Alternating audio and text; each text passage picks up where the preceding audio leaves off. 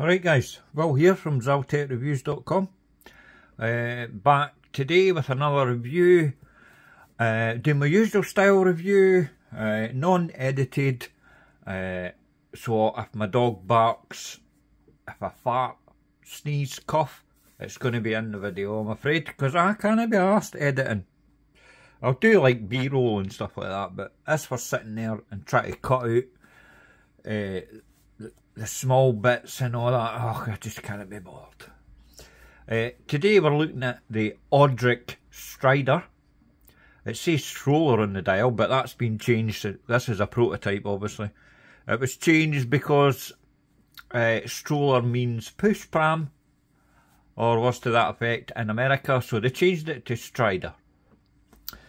Anyway, uh, let's get into the review. Play the intro.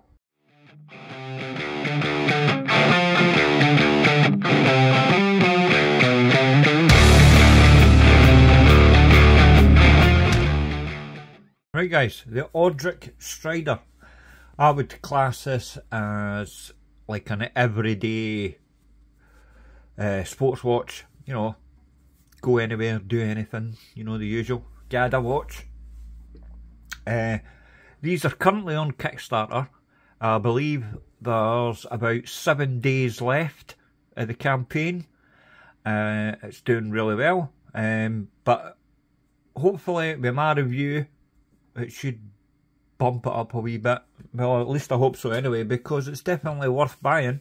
It's a really nice watch.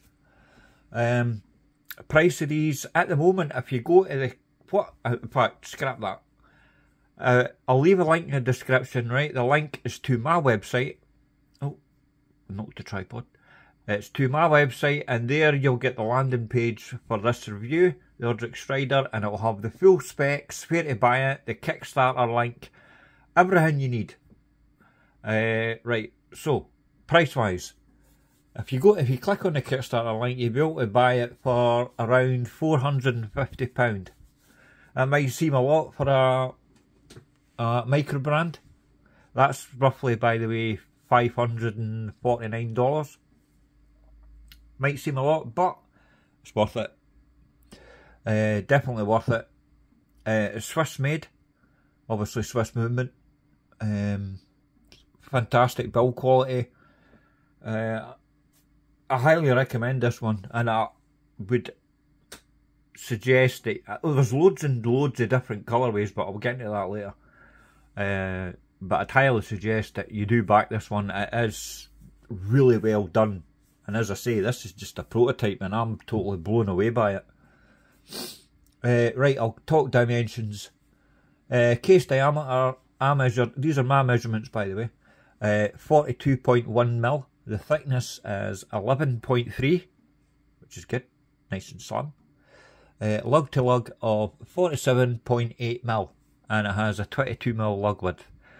The movement inside this, now, it says on their website you're going to get an ETA 2824 or a Sellita SW200 Elaborate grade.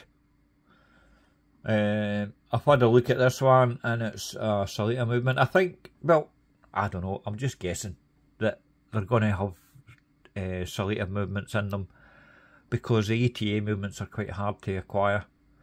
Uh, as I say, normal specs, 28,800 vibrations per, per hour. That's for both of them. Uh, 4 Hz. 26 jewels in the Sellita movement. Uh, 25 I believe in the ETA. Both hackable, self-winding, and both have a 38 hour power reserve. Uh, I wouldn't be bothered which one I got. To be honest, I'm more familiar with the Sellita than I am the ETA. Uh, I just seem to get more Sellita powered watches in these days. Uh, the case, it's brushed and polished, 316L stainless steel, and it also has a hardening coating. They call it, what's it, uh, the Hexa Dory anti-scratch coating, which is good. Any anti-scratch coating I'm well up for. Uh, obviously 316L stainless steel in the mid case, the bezel, the crown, bracelet, case back, well case back's around because it, it, does have an exhibition display case back with sapphire crystal by the way I'll just sort of throw that in there. Getting ahead of myself going through these specs here. Uh, look at that. Uh, lovely pattern on the dial, that texture, man. It's lovely. Right, I'm, as I say, I'm getting ahead of myself. Just give that a wee white. Uh, obviously, I asked for the white version of this, but yet again, I never got the white one, and I was really disappointed. But we've got, what do they call this version? Carbon black. If I wasn't getting a white dial, I would I'd like the uh, the black dial, no matter what watch it is. But there's loads of colourways that I'll get into later on.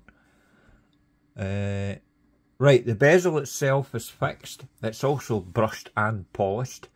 As you can see, it's polished there. Jesus, my eyes are bad. It's polished there, like round the edge, and then brushed on top. And the quality, I mean, that brushing there on the bezel, super fine, man. It's absolutely fantastic. Really, really good. And it, the finishing is like this throughout the entire watch. Absolutely fantastic. Build quality is excellent. I mean, this is just a prototype and this is built extremely well. No wiggle or nothing. And the finishing throughout is great. Really well done. as I say, I'm getting ahead of myself again and I'll keep jumping into the specs. I'll just put that down. Uh, done that, done that, done that. Aye, back to the dial, texture dial, and it's textured in all colourways.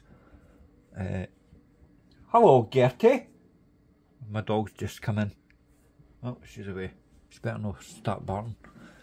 Uh, aye, on the dial,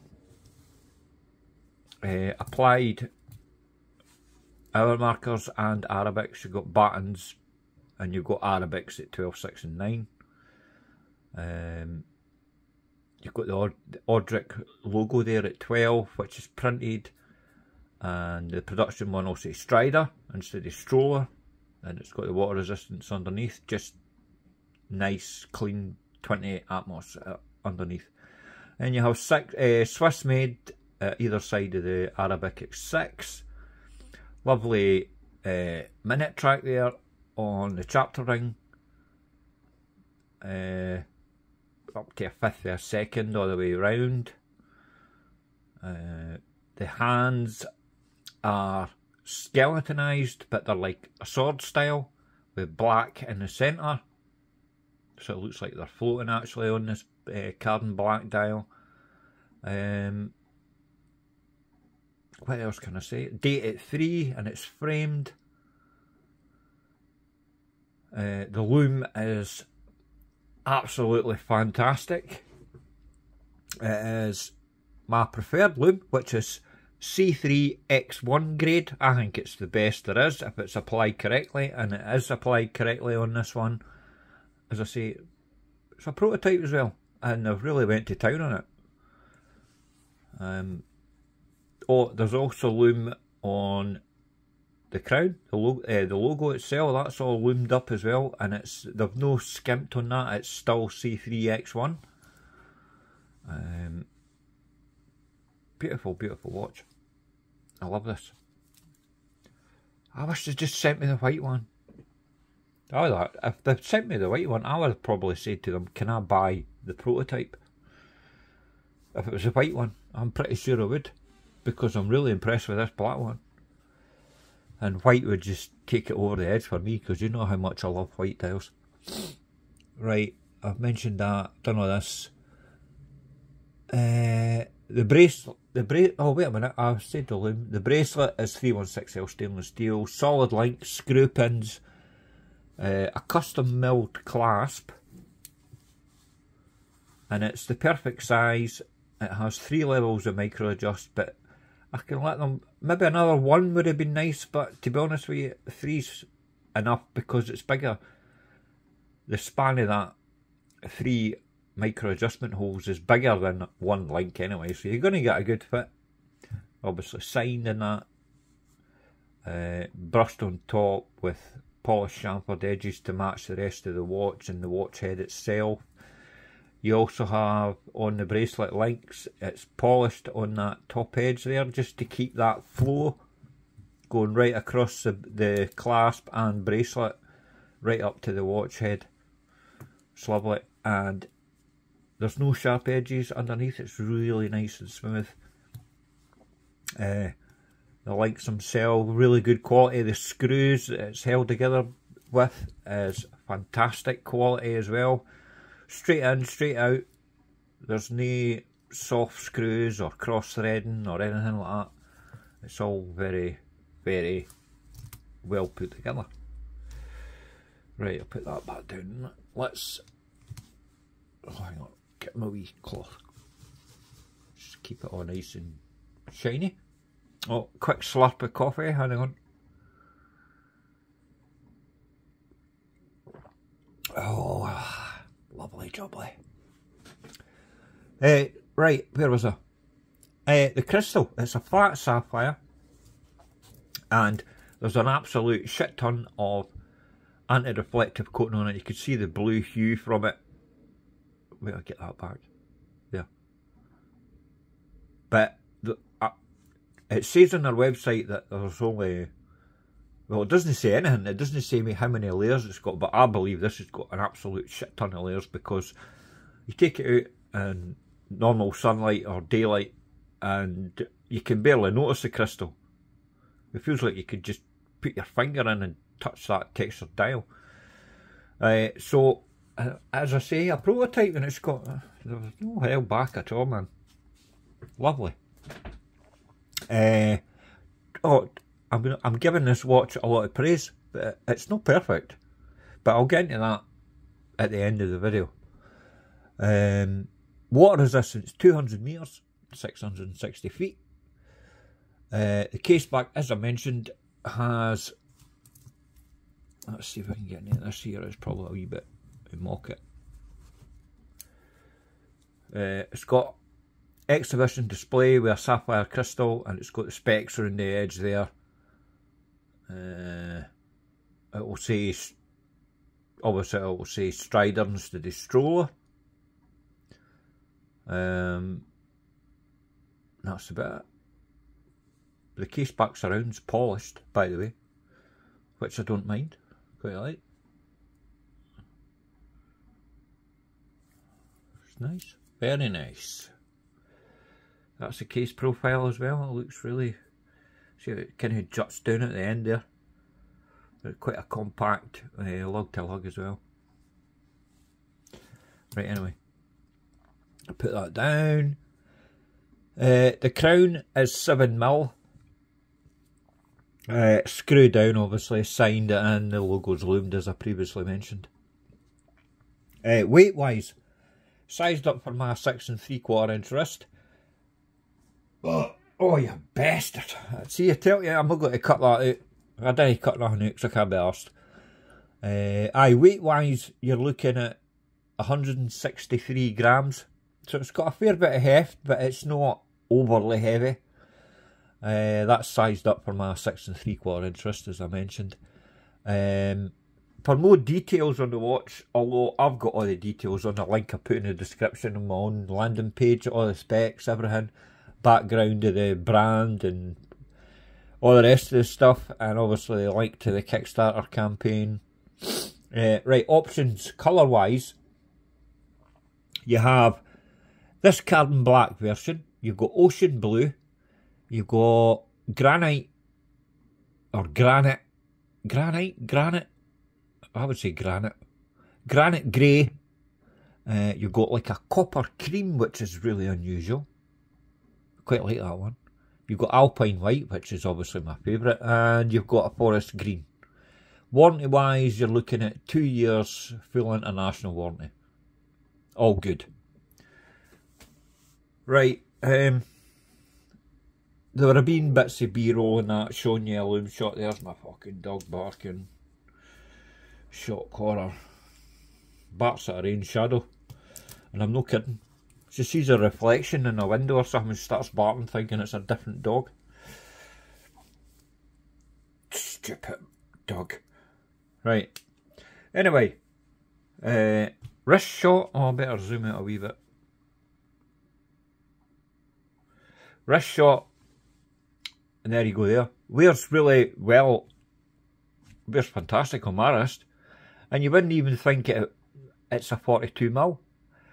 Mainly thanks to the kind of compact. Let's see. Look at that.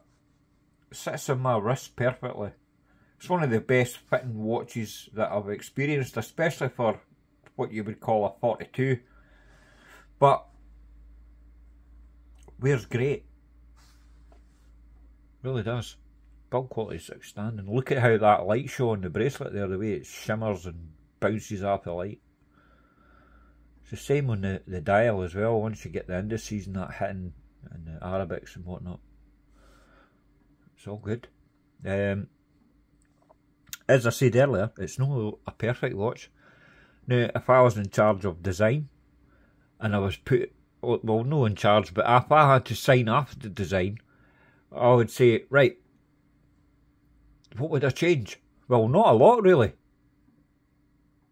Pretty much 99% I would keep as is because I can't fault it. The only thing I would change is I'd put an Arabic at 3 and move the date to 6 and colour match it for each and every model.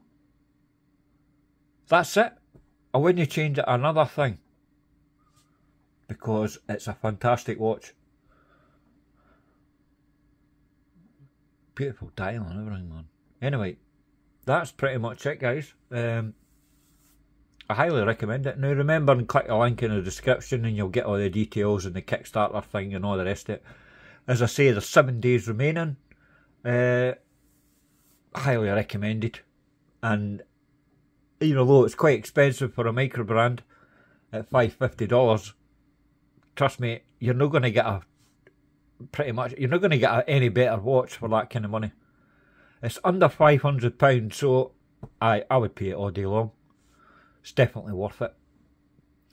Right, guys, uh, that's it for today. I'll see you in the next video. Please like this video and if you've not already subscribed, I'd really appreciate it if you hit that subscribe button. And I'll see you in the next video. Toodles!